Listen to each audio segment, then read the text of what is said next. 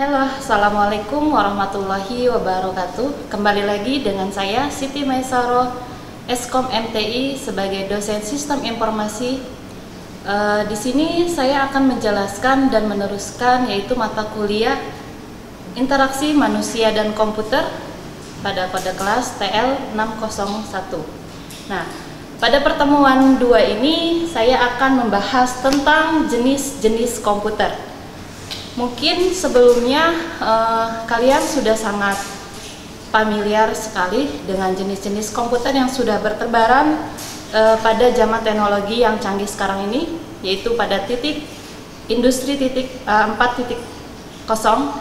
Dan uh, mungkin beberapa bulan akan datang yaitu perkembangan teknologi akan berkembang pada industri 5.0 Jenis-jenis komputer yang pertama yaitu super komputer dan yang kedua mainframe komputer, ketiga mini komputer dan keempat mikro komputer atau yang disebut personal komputer.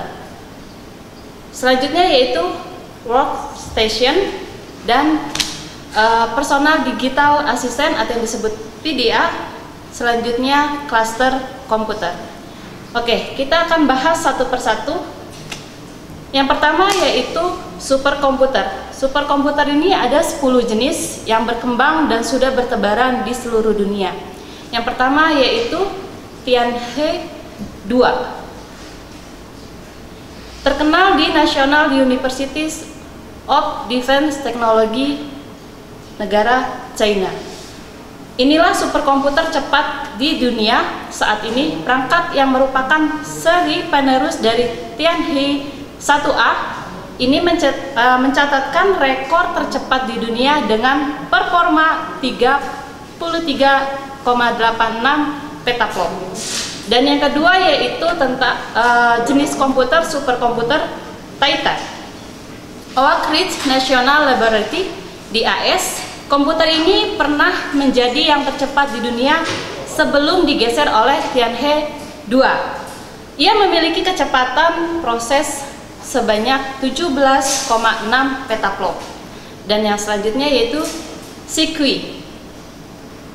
Sikui ini yaitu uh, terkenal di Lawrence Livermore National Laboratory di AS. Perangkat ini juga pernah merasakan titel tercepat di dunia setidaknya hingga pada uh, Juni 2012. Perangkat ini memiliki nyaris 1,6 juta prosesor dan mampu menyentuh kecepatan yaitu 17,2 petaflop. Selanjutnya jenis komputer pada superkomputer yang keempat yaitu K komputer. Uh, K komputer ini didirikan di Riken Advanced Institute for Computational Skills yaitu di Jepang. Pernah menjadi yang tercepat di tahun 2011 Nah, pada komputer ini dibuat dan dikembangkan oleh Fujitsu mampu menghadirkan kecepatan yaitu sebanyak 10, petaflop. Dan yang kelima yaitu Mira. Mira itu didirikan di Department of Energy milik Argonne National Laboratory AS. Menggunakan sistem Blue Gene atau yang disebut G uh, milik IBM dengan 708 86,432 inti untuk mencapai kecepatan 8,6 petaflop. Dan yang keenam yaitu Stanford. Uh, dia didirikan oleh University of Texas menggunakan sistem Blue Gene Q. Buatan IBM hadir dengan 405,8752 inti dan mampu menyentuh kecepatan 5 petaflop. Eh sorry, uh, dia menyentuh kecepatan 5 teraflop ya. Oke, dan yang ketujuh yaitu Zukin. Zukin ini uh, berasal dari Jerman. Menggunakan sistem Blue Gene buatan IBM juga hadir dengan 458,752 inti dan mampu menyentuh kecepatan sebanyak 5 teraflop sama dengan Stampede ya. Dan yang ke-8 yaitu Vulkan. Vulkan ini uh, terkenal di AS. Juga hadir dengan menggunakan teknologi Blue Zin, kecepatannya mampu menyentuh angka 4,23 petaflop dan memiliki 392,216 inti.